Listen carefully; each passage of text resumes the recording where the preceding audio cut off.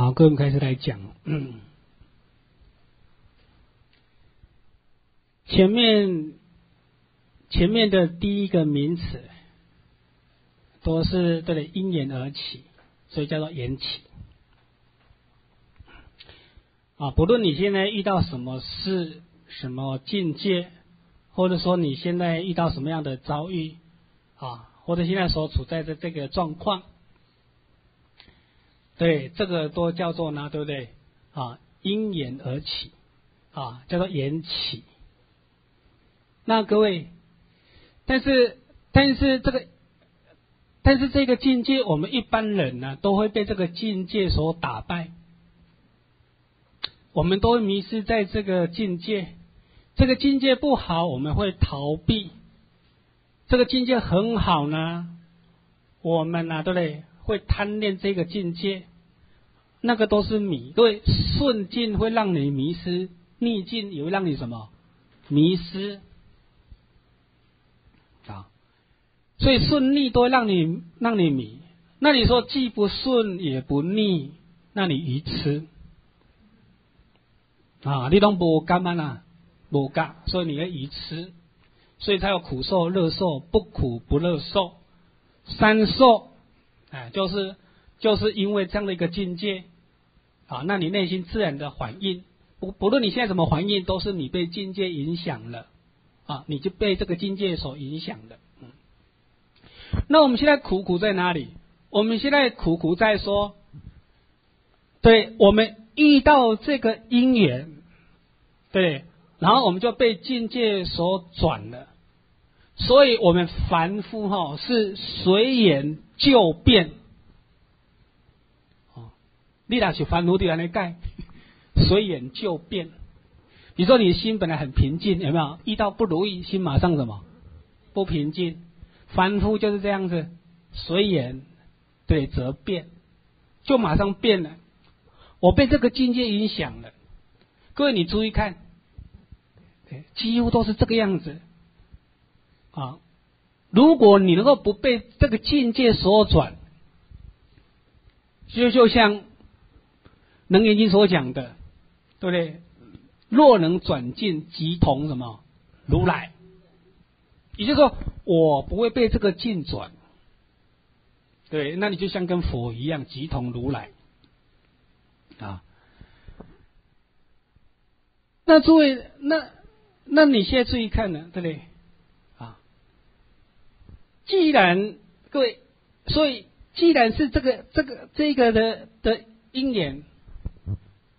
如果你你能够明白它的空理，就是它的空体，它的性体，你才能够不执着，不然你是会执着的啊，你是会被它不断不断的影响的啊，不断不断会被影响的。那所以本身来讲，一般呐，一般你只要能够知道缘起性空。假设你能够悟到这里，事实上有没有？你就你就算入道了，各位你就算入道了，但是你还不能够展现出来，各位你还不能够展现展现出来。诸位有没有说有没有说这里开悟的人不会讲法？会不会？有会哦，各位。那个就是他不知道什么，怎么去展现呢？因为他不知道怎么去展现，他可能悟到那个道理，但是，但是他不知道怎么去展现。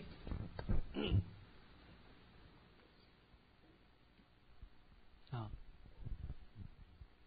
所以，所以各位，所以从这个体当中，各位，他虽然各位他虽然他虽然是空体。但是他随时会遇到新的什么境界、新的因缘，对，所以他必然又会在什么在缘起。那各位，那一样的道理啊！你说我领悟到了，各位不是领悟到了你就停在那个领悟到，不是这个样子。各位，你领悟到了，对不对？但是接下来，对，还有不断的因缘。那这些的因缘，你如何懂得去善用呢？你如何去善用这个因缘呢？啊，各位举个例子，比如说，当你悟到了，悟到之后，譬如说了，譬如说你是在家居士的，你悟到之后，你到底要不要出家？啊，像六祖呢，是悟悟后才什么？不是啊，才出家的啦，对不对？对吧？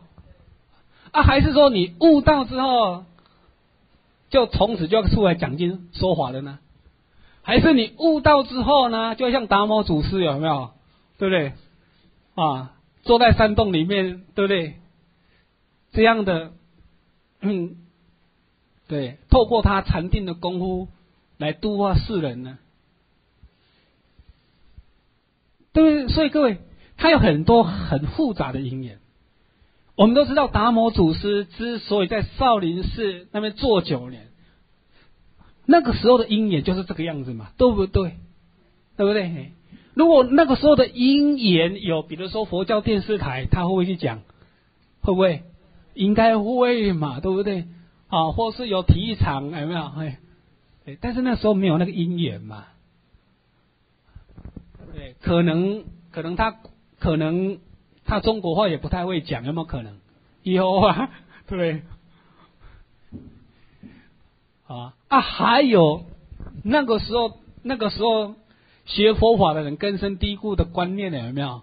可能可能都会比较偏向于什么小乘，或是那对啊，这这些之间上的层面没有办法明白说对不对？什么叫做无上菩提一佛乘？各位，那是个时空背景，这个就叫做缘起，哎，所以。所以他他是会这样变的，所以各位说你要懂，各位你要懂，各位我来我来举一个例子给各位听。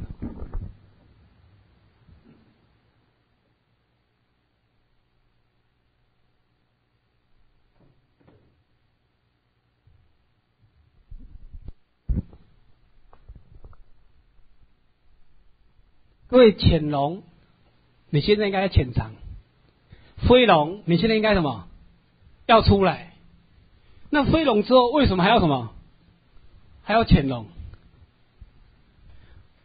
各位，这个名词哦，以政治人物是不是最明显？政治人物有没有很很明显？本来潜龙又飞龙，飞龙完之后又什么？又潜龙，说不定呢，对不对？下次又可以飞飞更高，对不对？本来本来是小老百姓。后来呢是立法委员，立法委员选不上之后呢，有没有又潜龙？后来哦，到最后去当总统。对对，当总统之后，后来又 就不用，我们就不用讲了。对，啊，所以这个鹰眼就是一直变，但是你要注意一句一句话：万变不离其宗。所以不要害怕任何变化，同理可证，也不要害怕任何的因缘。所以叫做随缘，其实随缘这两个是是足足足亲的，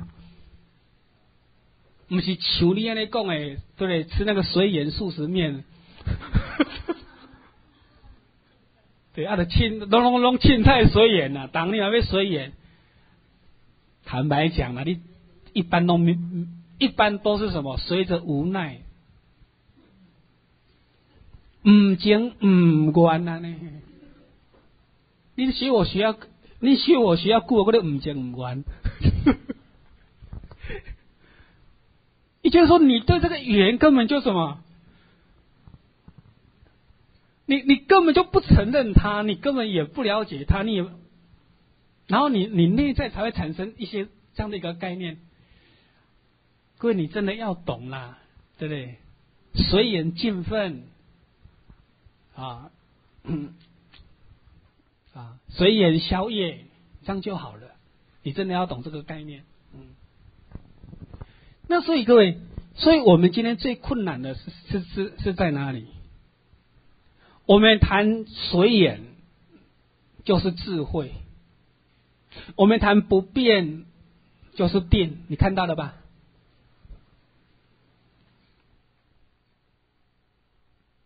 对，定慧定慧，各位定慧定慧。啊，所以所以慧是定之用。定呢是会之体，你看到了吗？对，也就是说你这个这样会不会用？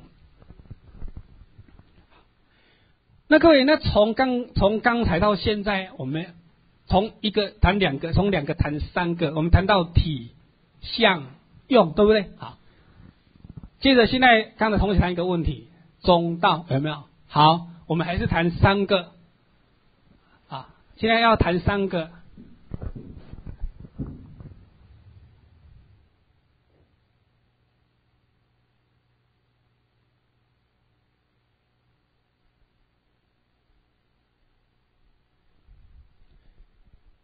所以我已经画画三种表格哦，呃，你不要抓乱你。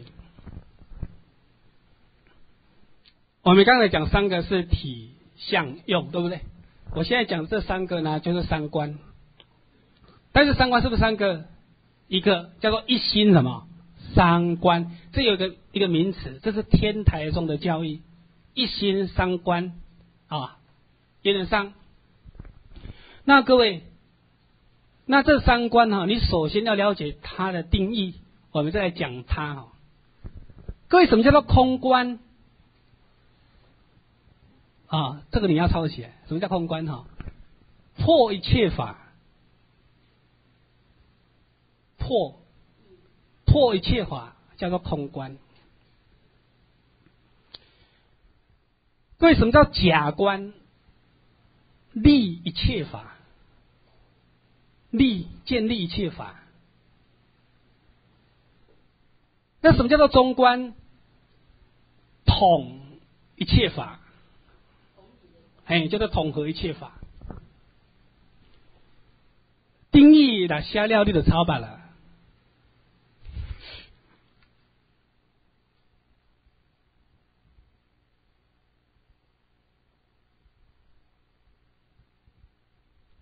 各位有。意思就是说，你看这个世界，对，都是虚幻不实的，毕竟空寂，这叫做破啊，这叫做破除什么？对，破除一切法，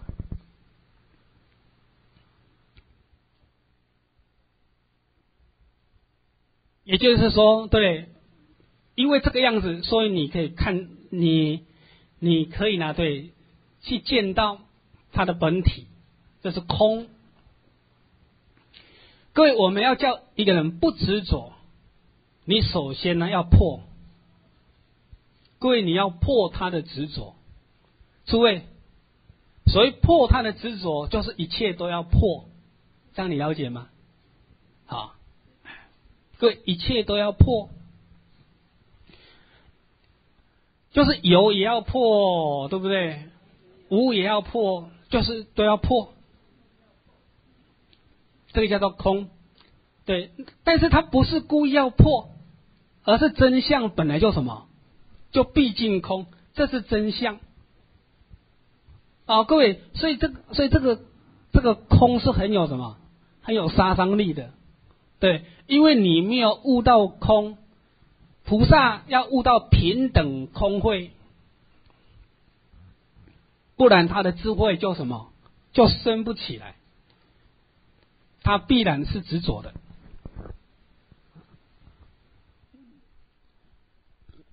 那各位，就像就像早上讲那句话的，认真做不执着，我最后那个不执着就是什么？就是破，有没有？认真做就是什么？就是立假观，各位假观哈，假观就是立一切法，所以一切都是假名，这样了解吗？一切都是假名。我说你很成功也是假名，我叫你认真做也是什么？也是假名。但是要建立这一切法。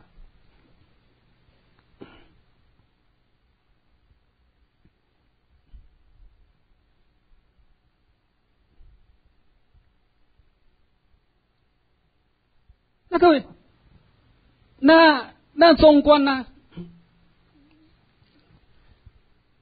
你破不立也不对，你立不破也不对，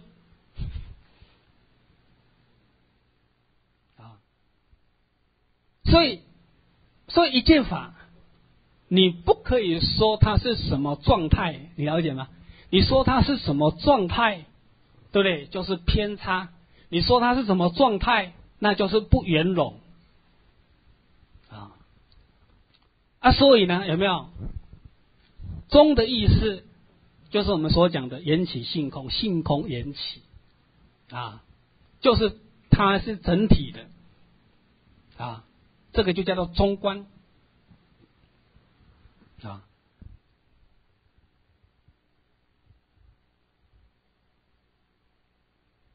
那你今天要大彻大悟，你就是要达到什么？对你就是要明白中观，你才能够大彻大悟。各位，如果你只你只知道空，你真悟啊，你可能真悟阿罗汉，对。但是，但但是你知道有，你会情度众生，哎，你还是有众生什么，对，可以度啊。但是你悟道中，对，要度一切众生，实无众生可度，你才能够通透。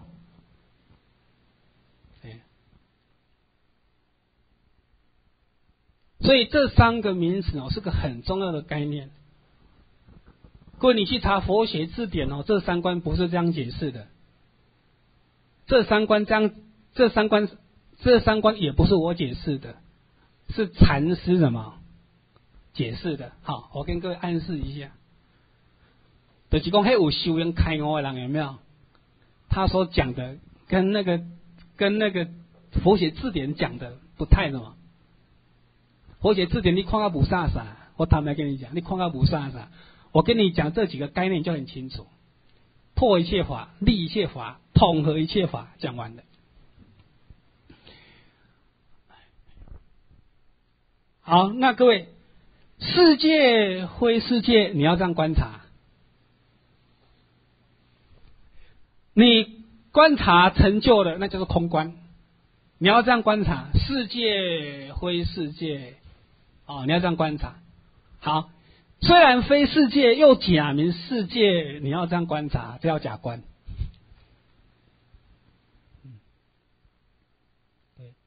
那世界非世界是名世界整体，那叫做中观。你要这样观察。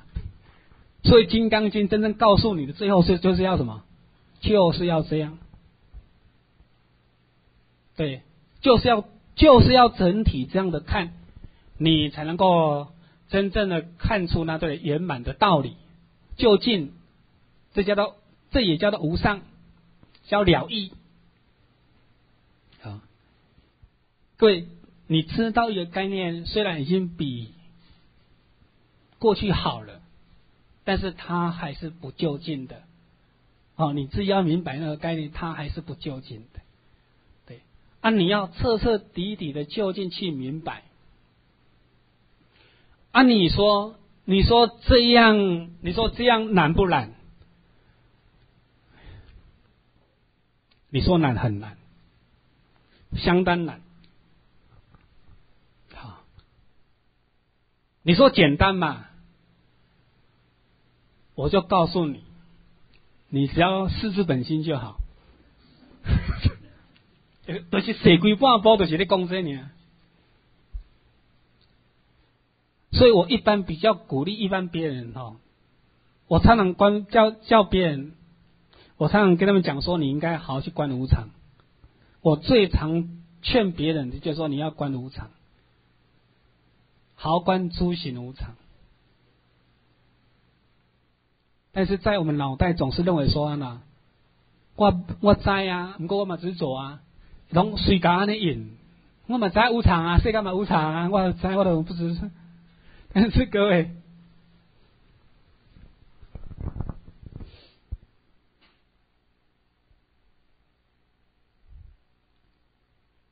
诸位，诸位，既然是既然是无常的，那你干今麦要气干为死？既然是无常，为什么那个怨恨至今不能消？你嘛讲个道理我听过嘛？来讲个道理听过嘛？你呢？股票是长还是无常？无啊，消了哈。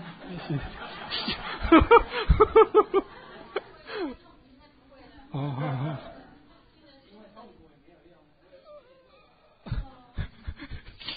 对不对？嗯啊，来了，没有了。你现在回答我一个问题了，对不对？既然是无常，对不对？那为什么那些问题会存在？啊，都无常，你过你执着，哎，常的执着，啊，都无常。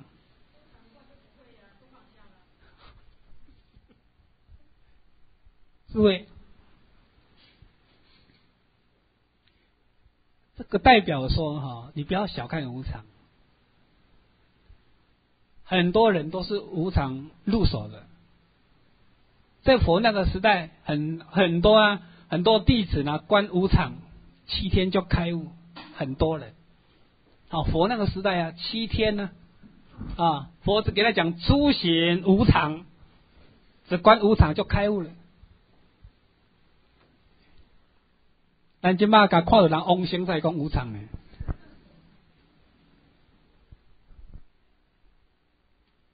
诸位哈，你现在看你的心，对各位，你的心体呢就像虚空，你现在的心念呢哈就像虚空上的流的这些白云，好，它就是一直飘，一直飘，一直飘，一直飘，一直飘。你为什么要把飘过的浮云又抓回来折磨一下自己？这个，这个就代表你的观不够。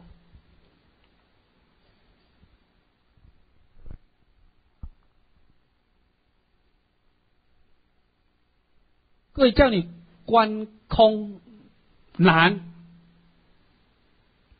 叫你观有比较简单，各位无常就是有，这样对不对？它就是生灭。坦白讲，这个简单，生灭、生灭、生灭、生灭、生灭、生灭，到最后观察到生住异灭，要不看有。啊我们一般人是没有这个能耐。各位，他是观生灭，有时候都观不起来。各位，我我详细跟你说哈。当念头升起的时候，我知道；当这个念头消失的时候，我也知道。你有在掉啊？没摘掉。我们是这个念头升起来了，满在。这个念头早就跑掉了，其他念头都升起来了，对吧？他才察觉到。但他察觉到这个念头，事实上他那个之前那个念头是什么？已经已经消失了，他他不知道。各位，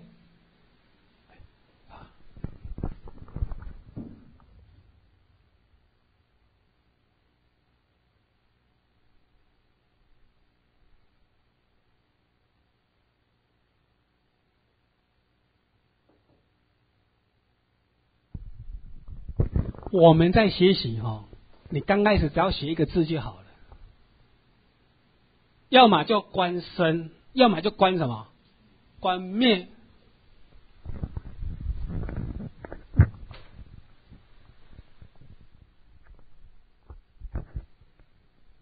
念头升起，我知道，观这个就好。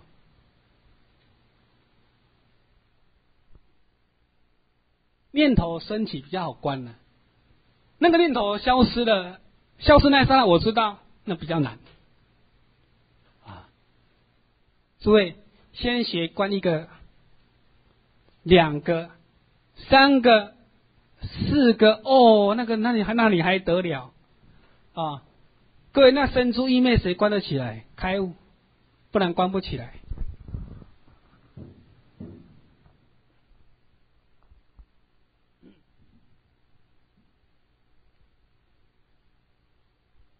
那那那各位，这个世界你看到它是动态的这样的流转，为什么是这样的流转？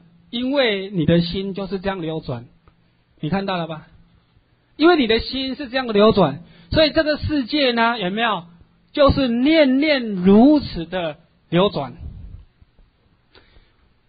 诸位，什么是能量？心就是能量。但是能量为什么会转换成物质？为什么会转换成物质？因为你念念相续，从来都没有断过，所以变成一个物质。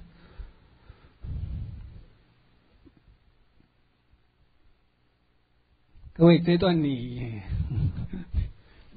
领悟一下。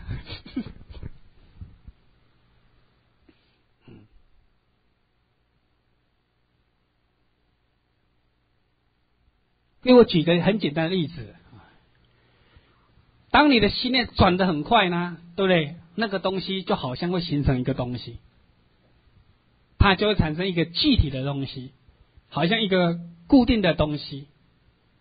对，这个是各位你可以去尝试一下。啊，我我最喜欢用那个什么，用那个用那个卡通影片，卡通影片它是一张一张画的。对不对？它是一张一张画的，但是由于它相续不断，它速度很快，有没有？对，它就开始演给你什么？演给你看，这样对不对？各位，我们这个世界是这个样子，因为你的心念呢，对，是这种状态，所以这个世界一直在演给你看。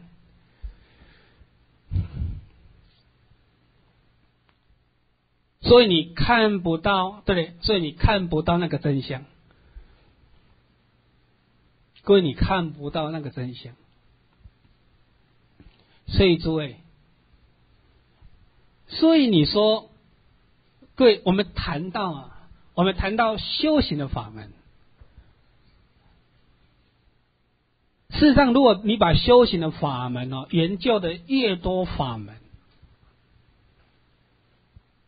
这个到底呢是有益于你呢，还是有害于你？绝大部分都是有害于你。为什么？为什么绝大部分都是有害于你？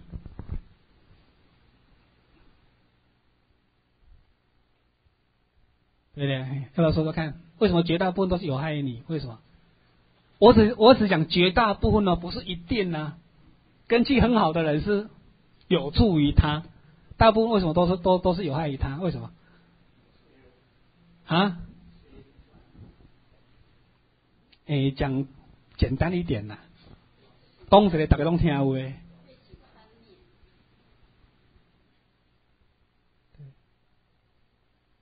为什么那些法门你去研究的越多越详细，然后理论越清楚，有大部分都是有有害于你的？为什么？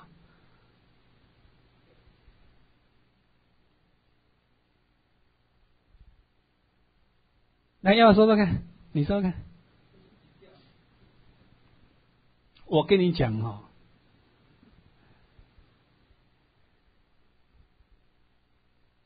其实绝大部分呢会让你越来越没信心，因为你会觉得说，事实上哈，任何法门都什么，都很难。所以我我们众生的心态大概都是怯懦的众生，对，就好像我说跟你讲说观无常，你听起来挺简单对吧？但是我来详细给你讲你了呐，哦，你有没有注意到？如果我详细跟你这样讲，你你就一个一个跟你讲，就说哦，我做没搞上，对不对？那平常跟你讲说观无常，你就觉得哎好，我好像做得到，你说？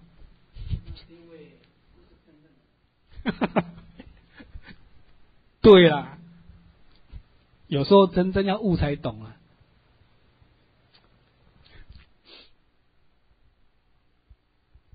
其实，其实都是在摸索，哎，所以在摸索当中，原则上那个信门就很重要，有没有？信解行证，那个信门就要很重要，一念尽信，则生实相。对，但是如果你的信被打败了，那真的是就困难了。啊，所以诸位，所以有时候很多事情是不一定，因为每个人根气不一定，所以有的人可以好好学，然后才修；有的人不可以这样学。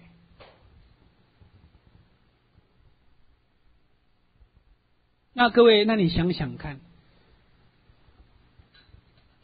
各位佛祖都很慈悲。佛跟祖师都很慈悲啊！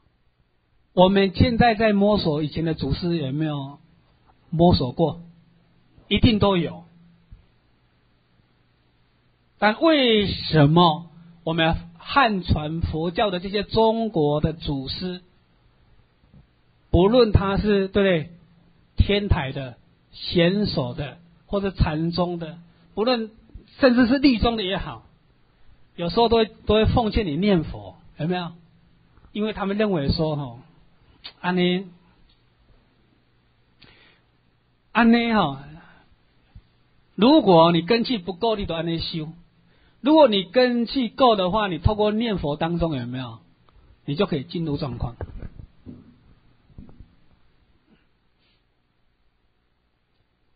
我简单讲了。人遐拢不过啊！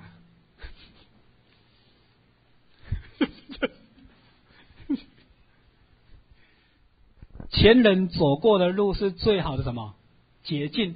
他认为说那个东西你才比较有办法什么入手哦。刚刚那个来讲了，他他认为说这个方法你比较容易入手。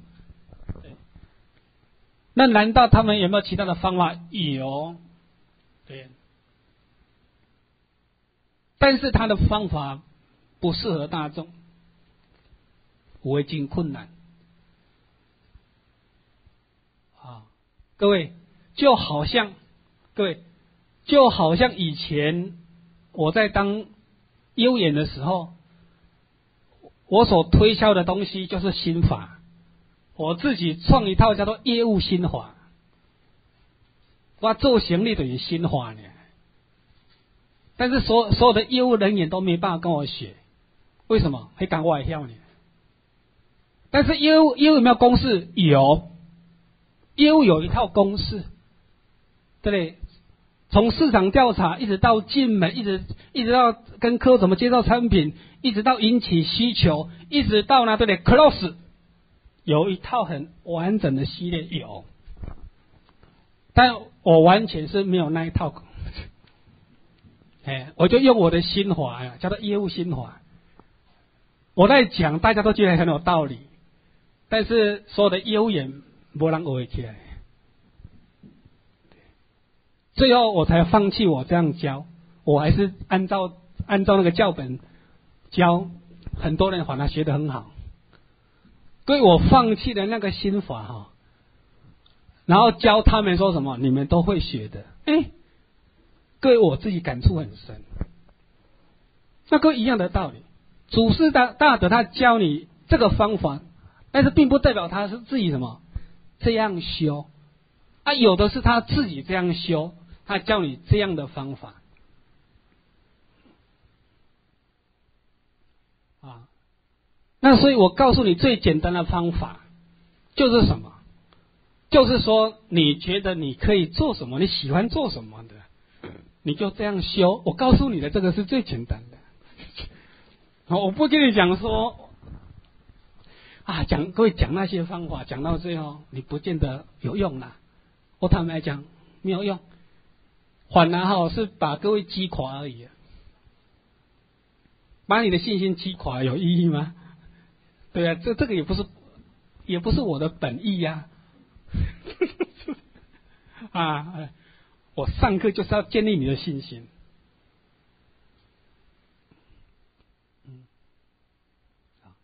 啊，至于领不领悟啊，要靠你自己。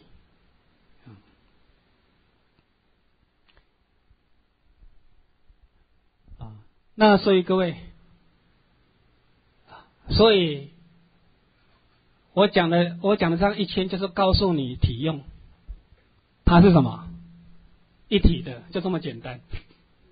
啊，所以不论你用一个概念、两个概念、三个概念，都是一体的。啊那《法华经》里面所讲的不是三个概念，叫做十个概念，叫做十如是，那就更复杂了。我坦白跟你讲，那就更复杂了。各位这样子，我讲越多，你是越复杂。所以我们我不想这样讲啊。那各位，那那那谈到这里。啊，我我们看我们看下面这一句话：即会之时，定在会；即定之时，会在定。若是此意，即是定会等学。定会等学画起来。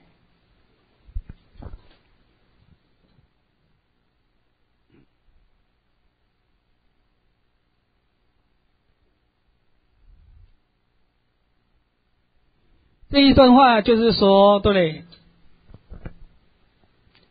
智慧的产生必然有定力，对，定力的同时也必也必然啊，对不对？有智慧，啊，啊，所以若是此意，就是你明白定位一体。如果你真的明白定位一体，对，这个时候你就明白说，那对，定会是同时的。而且它分量是等同的，它不但是同时，而且分量是等同。假设它分量没有等同的话，那诸位请看《涅盘经》啊，你们已抄你们抄在笔记笔记本上嘛，《涅盘经》。各位看《涅盘经》的这一句话：偏修禅定福德，不学智慧，明之曰愚。我先讲这句话。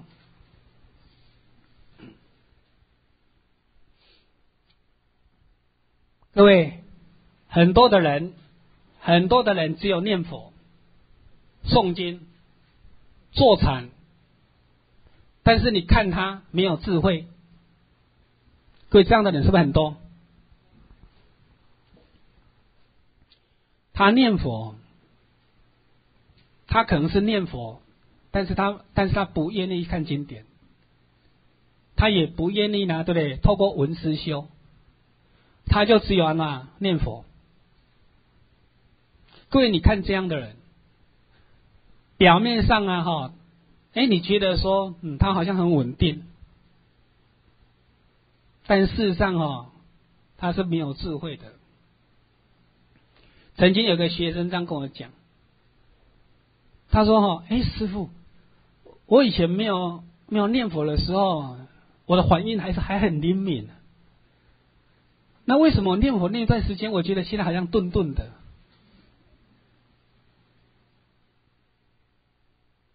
照理讲不应该是这个样子，但是他但是他讲的这个经验，我知道吗？我知道，因为我也曾经过这个样子，因为我曾我也曾经这个样子。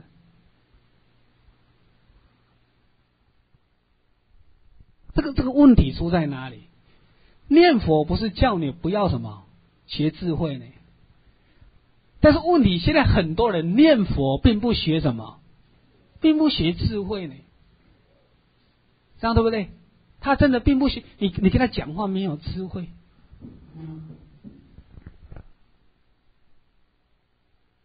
啊，有的人有没有就是诵经？啊，从年轻时代就就送一本经，可能可能送到年老。啊，比如说刚结婚的，刚结婚的时候要生生第一胎，人家跟他讲说送普门品很好，有没有？他是从二十几岁送普门饼送到八十岁，还是没有智慧。好 啊，再来，呃，现在的人，啊，现在的人啊，由于太紧张的压力太大了，所以每个人都在对推广静坐，对不对？公司好行号也在推广什么静坐，哎，好好啊，为什么？因为静坐可以消除疲劳，这样对不对？啊啊，静坐。那所以每个人就是静坐，事实上他就坐在那边休息，这样有没有智慧？他根本没有智慧。但是但是有时候他他又觉得做的不错，各位你看啊，他又觉得做的不错，为什么做的不错？因为他觉得嗯，他有得到休息哦，他觉得不错。哎，我就跟你讲说，休息就等到躺着的时候才去休息，对不对？你你就生不起智慧，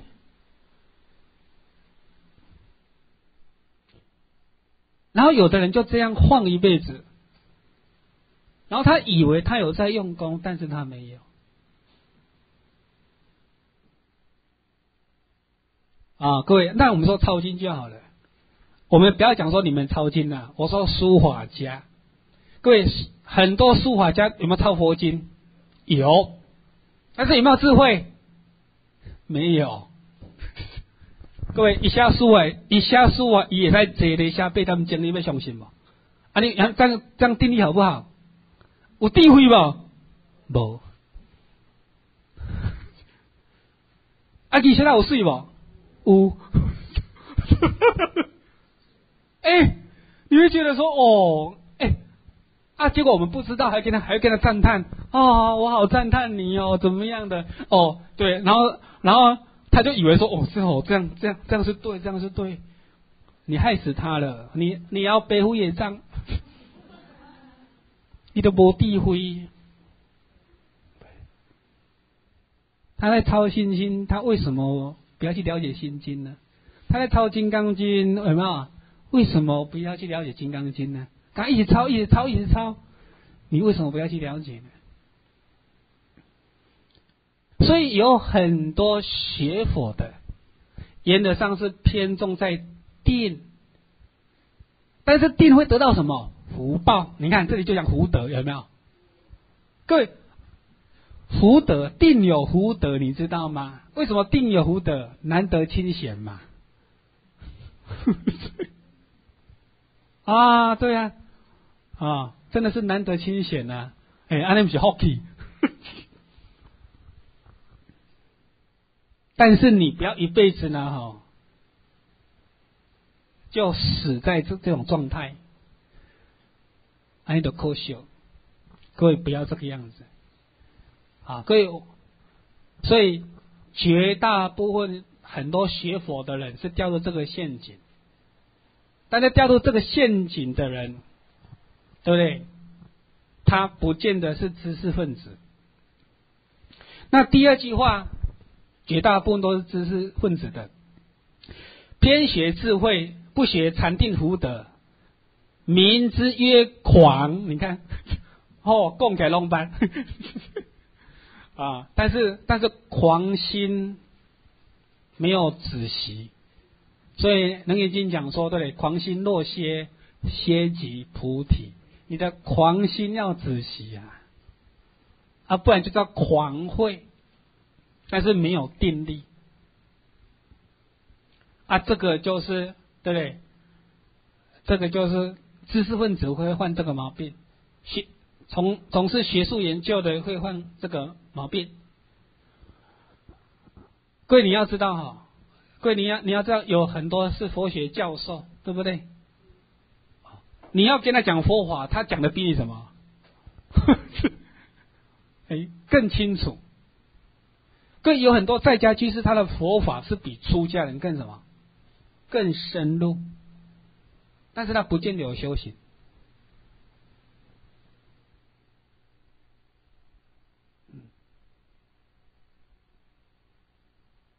那诸位，那那这一点你要，各位这一点你要去明白一下。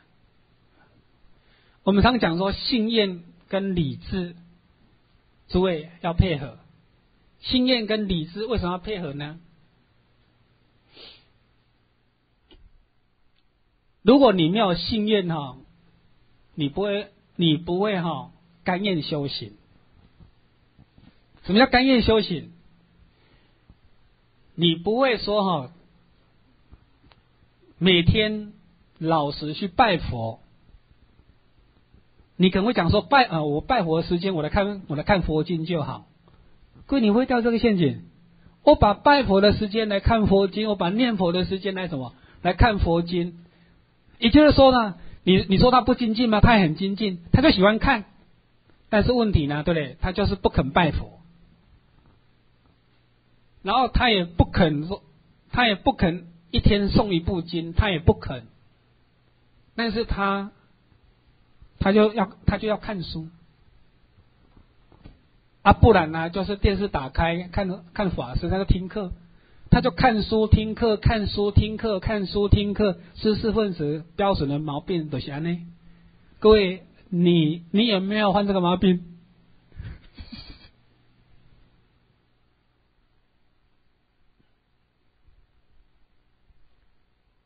但是各位，但是我告诉你个很真实的问题。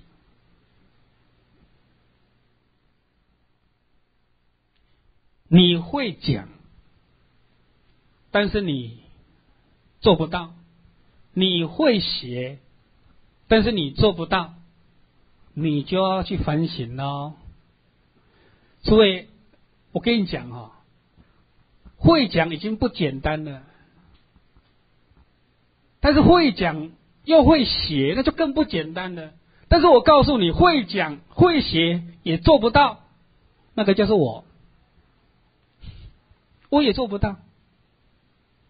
你那各位，那自己要不要要不要去察觉问题出在哪里？要不要？啊，有的人不会讲，也不会写，做不到。那各位去察觉，用你的智慧去察觉问题出在哪里？问题出在哪里？问题出在障碍。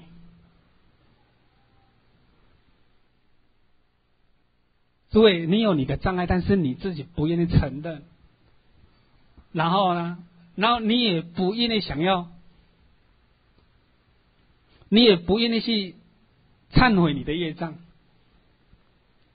然后你一直想要说哈，我这样就要开悟。各位，这是陷阱。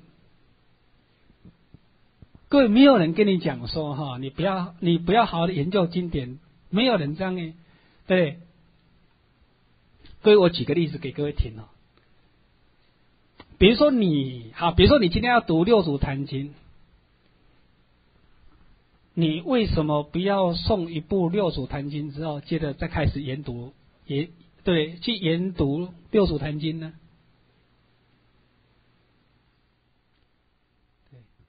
各位，你今天，各位，你今天。要去研读《弥陀经》，你为什么不要先拜一个小时的阿弥陀佛呢？然后拜完一个小时的阿弥阿弥陀佛完了之后，你接着再再去看净土五经嘛，对不对？你为什么不要做这个动作？为什么？好，我跟各位讲一个实例，憨山大师的故事。各位，憨山大师他有一个呢，哈。好朋友是良师，也是益友。那一个人就叫做达观禅师啊，明朝四大师啊，就是真可这个达观达观禅师。哎，我今后文盖港名。那汉山大师，因为以前的那个寺庙都是皇帝盖的。我们一般私人不能盖啊，所以憨山大师有没有？他他自己是整整修寺庙，所以就被别人诬陷，所以就被贬。你看有没有做官哈，一样被贬啊，就被贬到广州，所以他才有机会到他才有机会到南华寺啊，啊，就是被皇帝贬贬到广州啊。荒郊野外的地方，我们读六祖坛经就知道岭南，有没有？就是被贬到那边。那各位，那被贬的那憨山大师不会讲说，那害你衰，他不会这样讲，他只知道那叫业障，有没有？这个就是就这个就他的因缘。然后达观禅师就跟憨山大师讲说，对，对，你也知道，这就是你过去的业报。对，那你何不？对，那你何不呢？送一百部《法华经》。对，来自己对忏悔自己的业障呢？你何不送一百部的《法华经》来忏悔你的业障呢？结果他就果然接受达观禅师的建议，他就跟他的弟子呢，对，啊，送一百部《法华经》，啊，就在三个月之内就送完一百部。送完之后，汉山大大师上台，他的弟子跟。他的师傅讲说：“师傅，我们既然已经送一百部《法华经》，那师傅你也为我们讲《法华经》。”就汉汉山大师一上台，为他为他的弟子讲《法华经》，就开悟了。诸位，这是什么？以憨山大师的能耐，以龙爱行送一百部《法华经》。啊，咱今晚不是今晚开始都不敢开哦。